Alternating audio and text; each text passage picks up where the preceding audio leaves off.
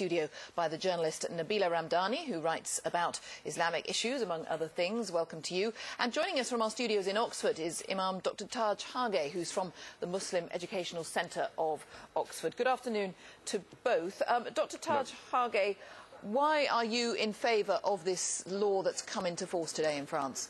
Well, because it's not part of the Quran. I mean, this, this, idea of face masking is a tribal convention that predates Islam. There's no religious foundation for it. And when women are, say it is religiously incumbent on them to wear this, uh, this face mask, this is totally untrue. If they were to argue this is a cultural fad, it's a tribal practice from their homelands, that's a different matter. They cannot use Islam to justify this cultural fad, and this is the main reason. Of course, there are other reasons as well. It's a health hazard, it's a security risk, it disempowers women, you know, it uh, uh, is discriminated towards men. Myself, for example, I can't wear a balaclava down the streets of the, uh, any city in, in, in, the UK without being stopped. Yet a, a woman can conceal her face and, and hide her, uh, herself. This, this type of double standard must stop. And it's not a civil rights matter. This is a matter about, you know, whether we want a Saudi, Wahhabi, Taliban type of Islam in, in, in, in, in the United Kingdom or in Europe. And we should be quite clear that this is not, I repeat, a civil rights matter.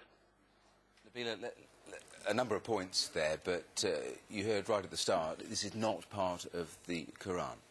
Well, this is the fundamental point about this law, and Dr. Taj has evidently not read the text of the law. It doesn't mention a single time the word Islam. The law is very much about banning face coverings.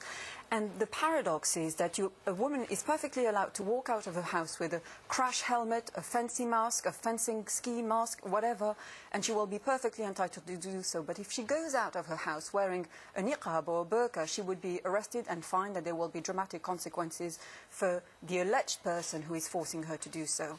And the law is about, it claims that it uh, liberates women. In fact, it's achieving the exact opposite because by preventing a woman to go about her daily life and, dare I say, walk in the street, it's achieving the exact opposite. It's depriving her of freedom. It's effectively putting her under house arrest. What about the fact that the, uh, the, the, punishment for anyone who is, can be proved to be forcing the individual to do this?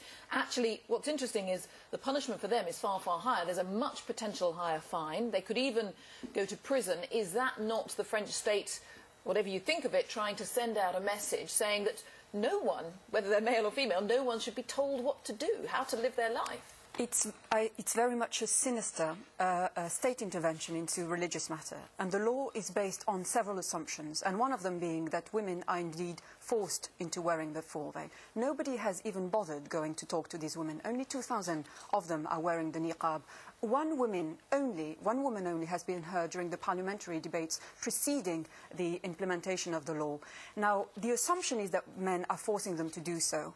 I've spoken to a vast majority of these women, they're telling me, for us it's a liberating tool. We want to wear it, it's our choice. What do you do?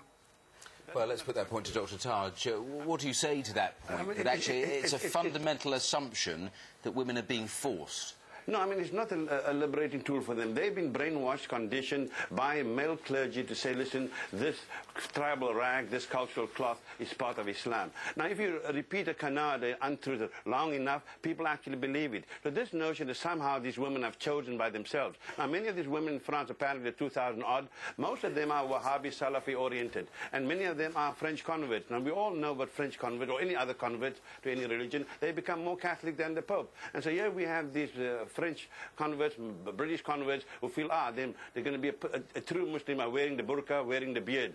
And this is not Islam. Islam is not to do with superficial symbolism. Dr. Taj, to, to, if I may and, and for interrupt. anyone to defend that, I think this is nonsensical.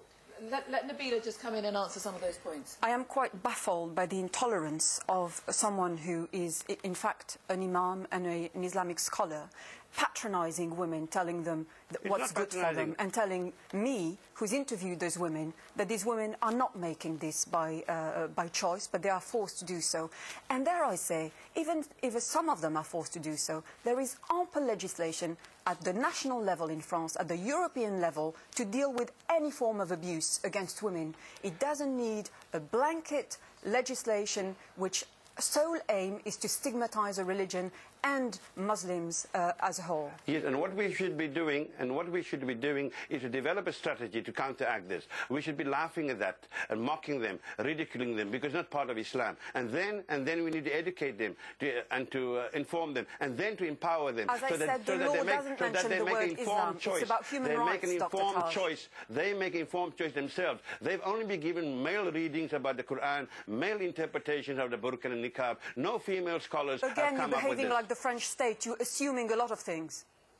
No, I'm not assuming anything. You are. You are saying, listen, this thing is an Islamic thing. It's not an Islamic thing. They should argue truthfully. It's a cultural phenomenon. Why do they use the word Islam? I'm saying Why it do they use the matter word whether it's religion? religious or cultural. It's to do with the law they, and with they the cannot, values of they French cannot Republic, produce, which should they cannot produce any Quranic evidence. They can't produce a single verse from the Quran where the word niqab is used, where the word burqa is. Now, if It they cannot not provide, if they cannot Dr. Taj. provide It's to do with the law. if they French can't provide- parliamentarians are behind if- this law. If right, they can't provide this, why say it? Taj- Why Taj- give this Dr. text? Taj, just for one, just for one moment, in terms of uh, the, the state and, and the, the specific situation in France, Nabila, uh, Nabila Ramdani. Um, it's interesting that our correspondent in Paris has been telling us, yes, okay, there's been this relatively small demonstration outside Notre Dame, but actually, broadly, he was making the point there hasn't been a vast amount of debate about the entire law within France. There hasn't been a huge uprising against it. What, what's your take on, on the reasoning behind that? Well, it reflects the, uh, uh, the, the, the, the fact that there is no need for such a debate when it concerns only 2,000 women. And in actual fact, there has been a debate taking place last week initiated by the Interior Minister about the negative influence of Islam, with the Interior Minister saying that Muslims are a problem in France. And I would argue that Muslims are the ones who are being discriminated against. They are the victims of institutional racism in France. And if the state was genuinely concerned about the place of Muslims within the French Republic, it should first of all enforce very strong anti-discrimination laws to ensure that Muslims are not discriminated against. OK, there we have to leave it. Nabil